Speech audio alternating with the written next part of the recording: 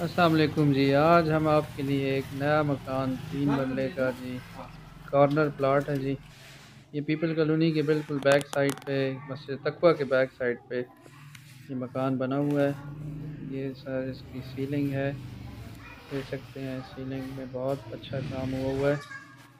आए अंदर चलते हैं। ये जी इसका हॉल है ओपन किचन है अमेरिकन सिस्टम वाला। सामने इसकी अलमारियाँ लगी हुई हैं, आप देख सकते हैं। वॉशिंग बेसिन है।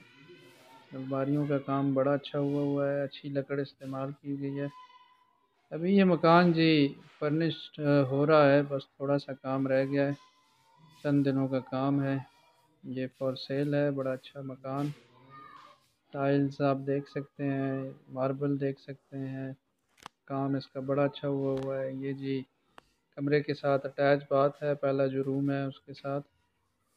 अभी थोड़ा सा ये काम अभी बाकी है, इस वजह से सामान पड़ा हुआ है। ये फ़र्स्ट रूम है, अब फ़र्स्ट रूम के साथ ही ये जी इसका सेकंड रूम है। ये दो बेडरूम इसके हैं जी।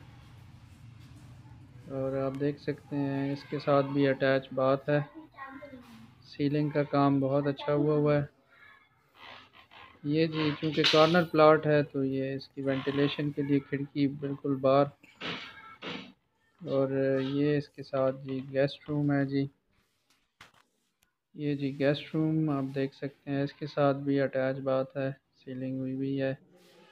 हम आपके लिए वीडियोस रोज़ यूट्यूब चैनल पे अपने लगाते रहते हैं। आप सारे जितने यूज़र्स हैं, उनसे ये गुजारिश है कि आप ज़रूर इसके लाइक किया करें सब्सक्राइब करें, ताकि ज़्यादा से ज़्यादा अच्छी से अच्छी वीडियोज़ आपके लिए हम लेके आएँ।